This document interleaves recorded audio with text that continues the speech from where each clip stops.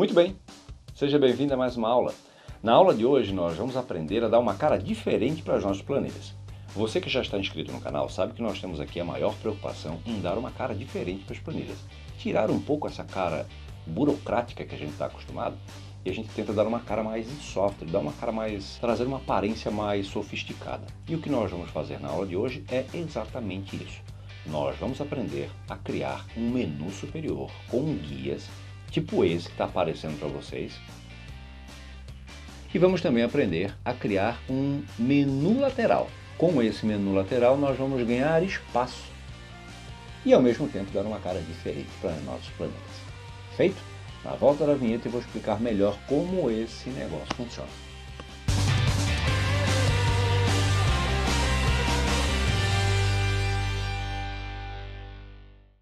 Muito bem, como você já sabe, Aqui no canal eu tento compartilhar com vocês todas as minhas experiências no que diz respeito a desenvolvimento de soluções. E nessa aula eu vou trazer um exemplo de uma ferramenta que eu criei para um cliente que eu achei muito interessante, a forma como o menu foi distribuído. Nós vamos então entender como esse negócio foi desenvolvido. Conhecimentos prévios para essa aula? Nenhum. Bom, o que você vai perceber é que com pouquíssimo conhecimento você consegue construir planilhas muito legais com cara de software, essa é a verdade. Eu costumo brincar que com um chiclete e um fio de cabelo, a gente faz uma bomba no Excel. Agora vamos acabar com esse bate-papo que o negócio mesmo é colocar a mão na massa. Vamos lá. A planilha que eu quero apresentar para vocês é essa daqui. Ela é semelhante à que eu comentei com vocês, que é do meu cliente.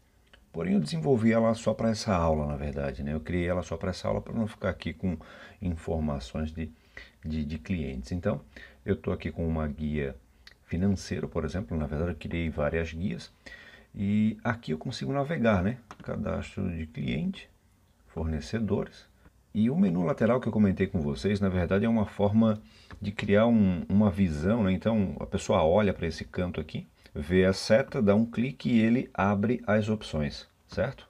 Minimiza e consegue então navegar em toda a planilha tendo a impressão que está utilizando um software, certo? Agora vamos entender como esse negócio funciona. Vamos lá. Eu vou abrir uma planilha em branco para iniciar esse trabalho e mostrar para você como é que esse negócio funciona. Tá? Primeiro passo, imagino que você em algum momento já deve ter assistido o vídeo de 9 dicas para melhorar o design de planilha, certo? Se você não assistiu, precisa assistir. Se você já assistiu, vai entender tudo que eu vou fazer aqui, que é o quê? Ocultar as colunas, ocultar linhas. Se você não, não assistiu esse vídeo ainda, fica tranquilo, eu vou deixar o link para você assisti-lo no final desse vídeo, certo? Agora o que eu vou fazer? Como que eu criei aquelas guias lá em cima, né? É, essas guias que eu coloquei, elas não são guias, na verdade. Então, lá na guia Inserir do Excel, eu vou clicar em Ilustrações e vou achar o item Formas. Dependendo da sua versão, pode ser que apareça somente os ícones ou apenas formas, direto, sem ilustrações. Mas tudo bem, isso não importa. O que importa é que você vai chegar nessa tela aqui. Eu trabalhei com esse objeto aqui, ó, que já simula uma guia, né? É um retângulo com cantos superiores arredondados. Eu então coloquei ele aqui, e assim eu vou criando quantos eu quiser. Na verdade, depois de criar, eu simplesmente copio e colo, né? E vou colocando ele aqui do lado.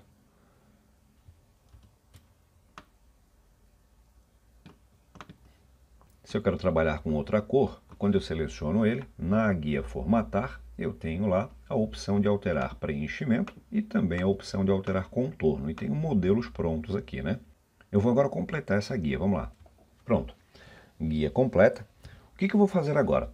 Esse mesmo menu ele vai servir depois, né? Eu vou colocar aqui a posição da linha, para que a linha comece logo abaixo, porque eu vou pintar o intervalo de célula que eu quero usar como menu, certo?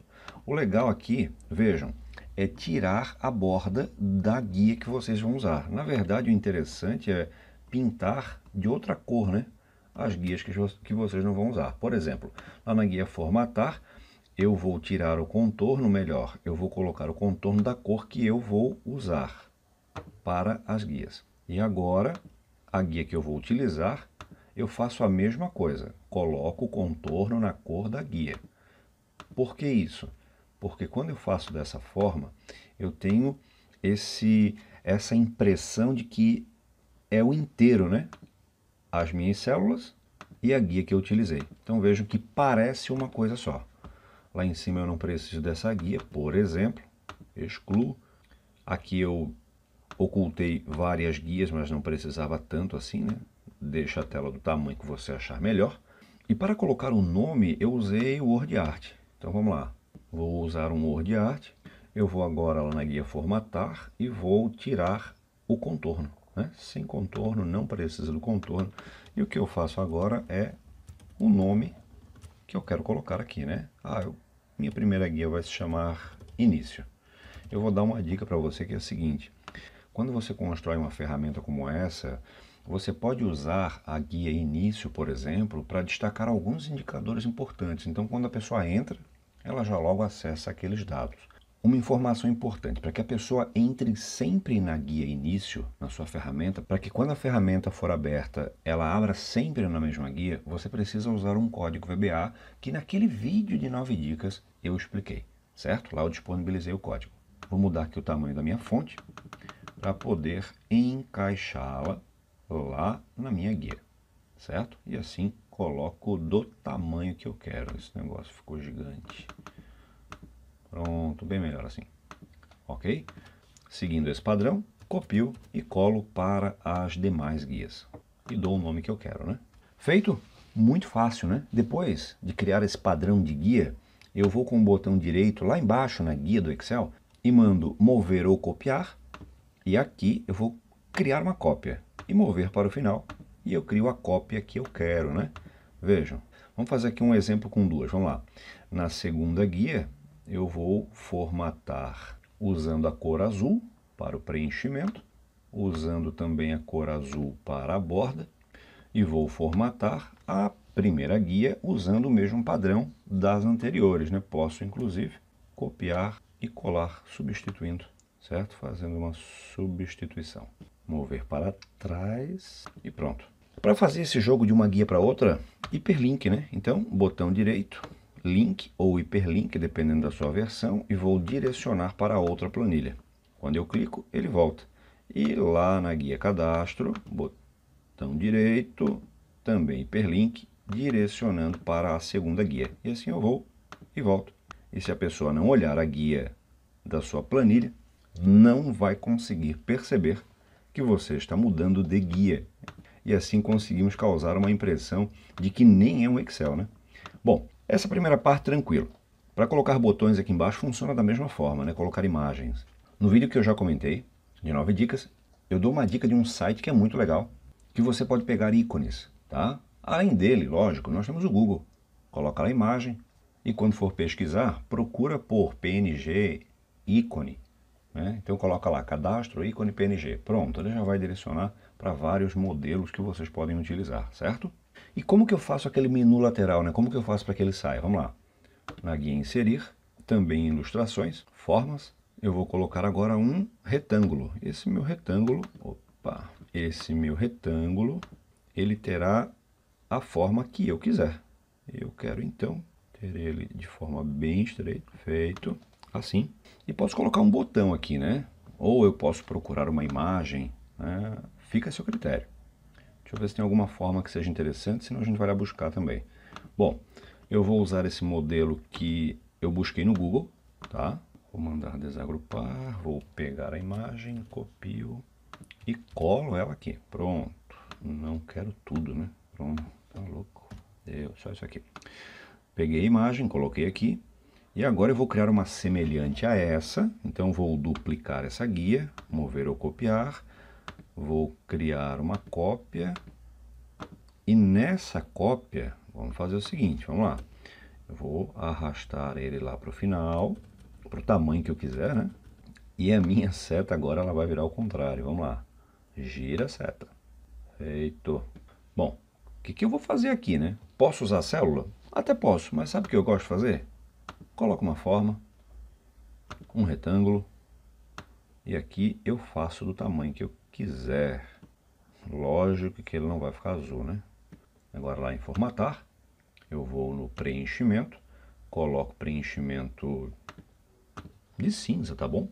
E posso aqui colocar as minhas imagens. E o que, que eu faço agora? Vamos lá. Na minha imagem da seta, eu quero voltar para outra guia. Então, link, volta para a primeira guia, ok. E o que ele faz? Volta para a primeira guia. Botão direito, link, vai para a segunda guia. E pronto conseguir fazer um menu que vai e volta, né? E assim a pessoa pode acessar outras opções assim, e você consegue criar N formas de visualizações para que a pessoa consiga acessar os dados que você quiser, né? A vantagem de usar o hiperlink e não usar a guia aqui embaixo é justamente essa, porque a gente força o usuário a acessar aquilo que a gente quer, certo? Bom, essa era a dica que eu tinha para dar para vocês. Só para a gente finalizar, lá em arquivo, em opções, eu vou na guia avançado e vou mandar tirar a guia de planilha. Lá embaixo. Ok. E assim a pessoa não sabe o que está acessando, certo? Faço a mesma coisa aqui, linha de grade de título e vejam que a nossa planilha já está ficando linda, maravilhosa. certo? Bom, pessoal, essa era a dica que eu tinha para compartilhar com vocês. Se gostou, não esquece, dá um like, comenta, para que a gente saiba se está sendo assertivo ou não nos nossos vídeos, a gente precisa disso, certo? Para poder desenvolver mais conteúdos nessa linha. Feito? Deixo aqui o meu abraço e até a nossa próxima aula. Música